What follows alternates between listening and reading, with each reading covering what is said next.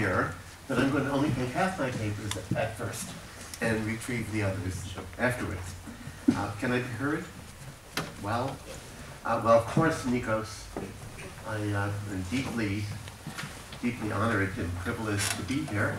Um, I'm, I'm in awe of your previous EFILA lectures, and, uh, and I'm honored to be even thought of in their, in their category. Uh, it's a bit of a challenge to address the question I'm addressing uh, for two reasons here.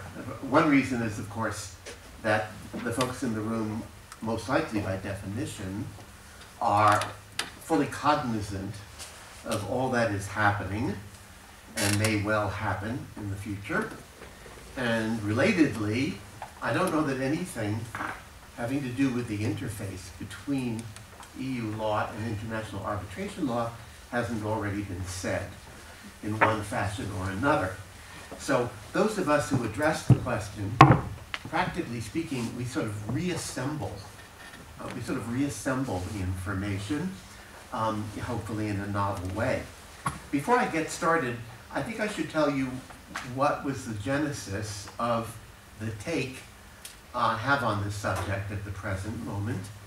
Uh, quite honestly, it comes from a, a discussion at previous ACMEA events, um, a statement at several previous ACMEA events that however valuable dialogue would be between the international arbitration community and the European Union community, there is no dialogue and it doesn't seem that there will be very great prospects for a dialogue.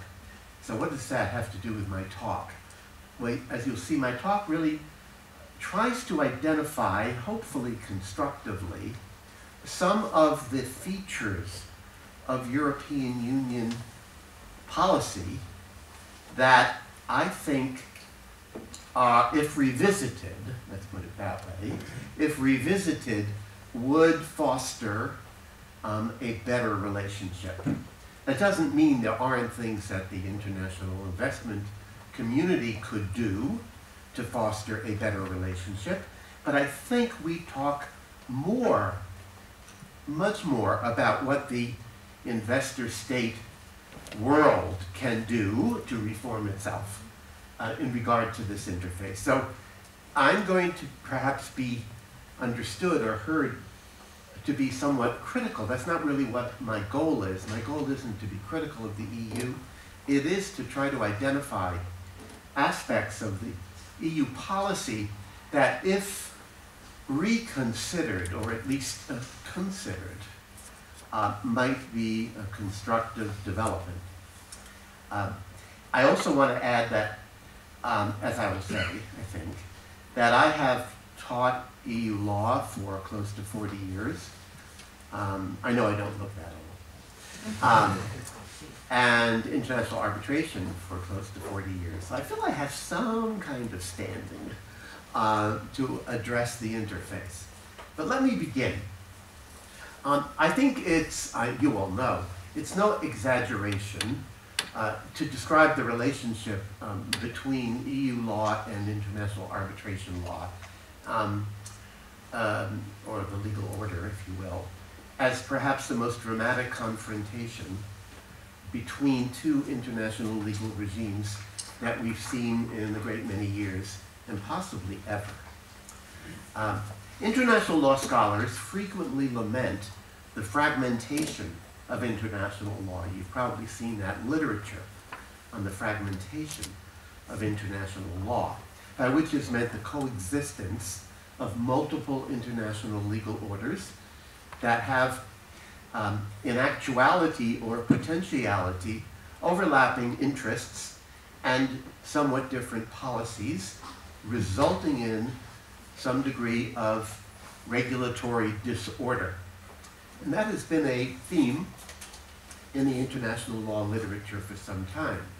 Um, but how um, seldom, I would say, however, seldom do the regimes that are the subject matter of that fragmentation thesis. Seldom do they collide, at least not in my experience. But the two international regimes that are before us today, I think can fairly be described without hyperbole, but you can certainly tell me if I'm being hyperbolic, without hyperbole, as on a collision course. Um, some would say the collision has already occurred, but that's something we can discuss. Um, now, the emergence of what I will call um, more temperately hostilities. Uh, the emergence of hostilities on this scale honestly came as a great surprise to me. At Columbia and elsewhere, as I've said, I've taught EU law and international arbitration law for decades, concurrently. I underscore concurrently, albeit in different courses. And over that period, I've written and spoken, as have many others, of course, about the two. But I've always, until relatively recently, regarded them, whether I wanted to or not, as separate and distinct enterprises. Uh, rarely, I found, did teaching, writing, conferencing ever necessitate or even prompt discussion of both legal orders at the same time. I call it a kind of peaceful coexistence or parallel play, um, if you would prefer that a description. Um, of this pattern, which is simply background to my talk, uh, which is coming to an end, of course, this pattern of, let us call it peaceful coexistence, um, there is one basic explanation, and this is the background. Um, neither of these two regimes, I think, dealt meaningfully with matters that were at the core of concern to the other. Of course, that makes it possible to peacefully coexist. Without oversimplification, I hope, in the origins, as I recall, the European Union's preoccupations were construction of the internal market, adoption of a common commercial policy, and development of a certain number of sectoral policies, notably agriculture, fisheries, and of course competition law. And when you think about it, in none of those matters did international arbitration have much of a role to play and didn't have much at stake at least so far as I can tell. Indeed, in none of those early enterprises of the European Union was private international law as a whole, of which international arbitration may be regarded as a subset, um, didn't even have at all a serious role to play.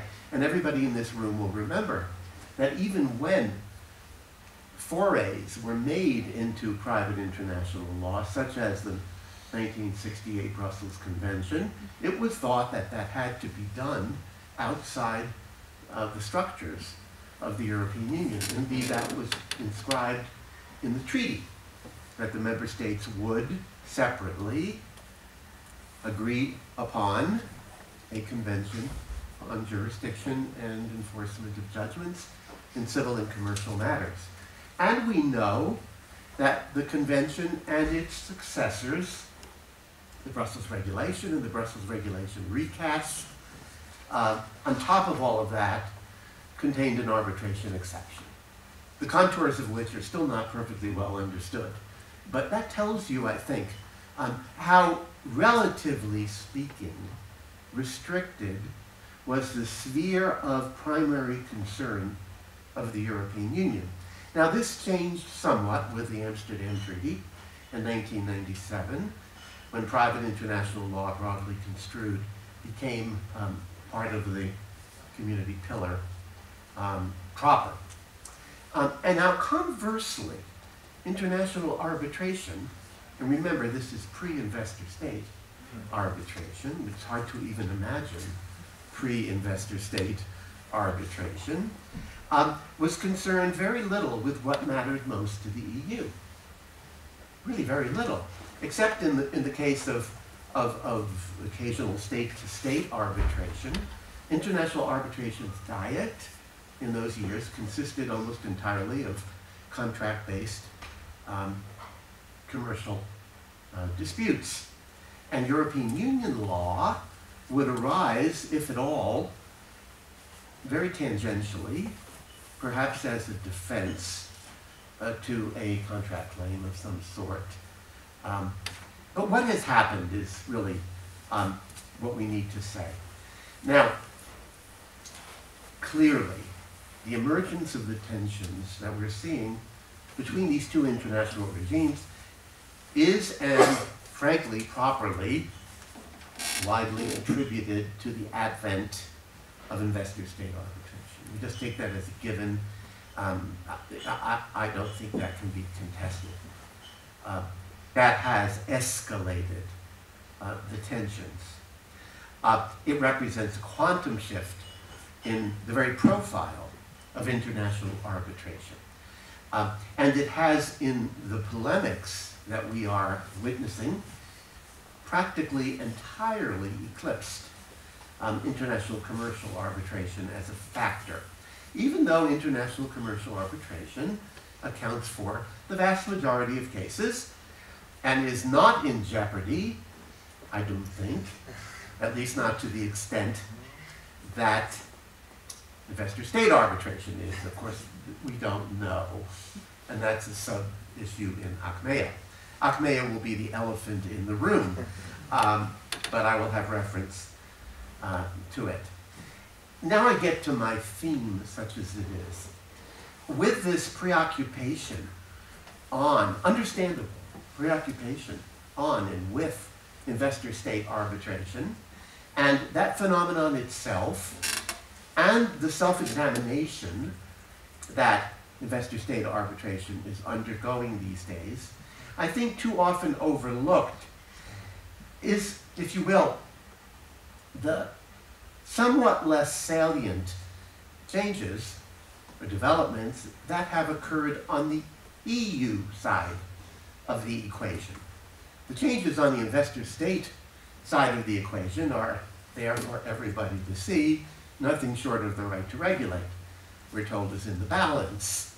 But to what extent are there features of European Union law that have emerged over the past couple of decades uh, that weren't present in the 50s and 60s um, that have contributed to some degree to the tensions that we're seeing. And I want to emphasize again that my desire to look at the issue from that point of view is a constructive one. It is to identify respects in which European Union law or European Union policy might possibly be recast or adjusted. Um, and that's what I'd like to do. Now, what are those changes or developments in um, EU law? Um, I have three that I want to mention to you. Uh, the first two are very, are relatively circumscribed. They are, they are quite specific, they're circumscribed, and they do not compare to, I think, what we'll get to when I get to my third. So I don't want to exaggerate the importance of these two, but they're there.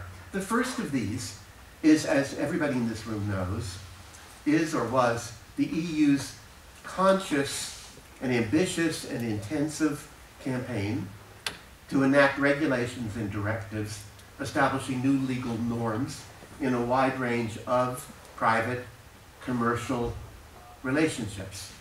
Relationships that are the stuff of international commercial arbitration.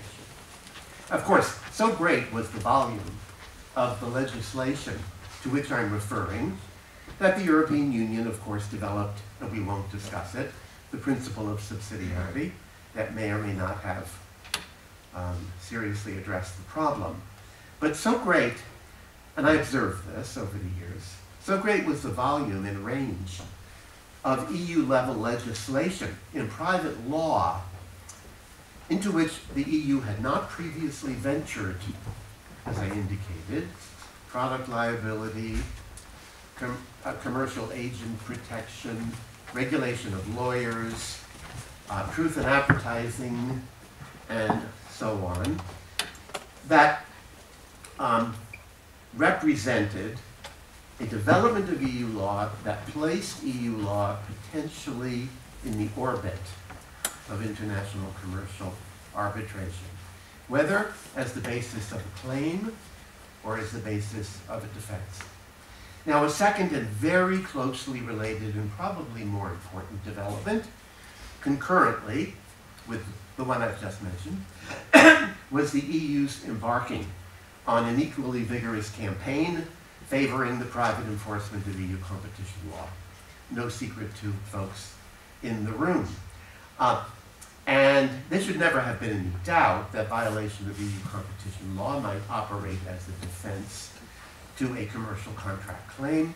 But of course, the European Court of Justice's Eco Swiss case, with which I think probably everybody in the room is familiar, laid uh, any doubt uh, to rest um, that competition law, uh, the increased salience of competition law in uh, disputes as a claim or a defense um, was happening.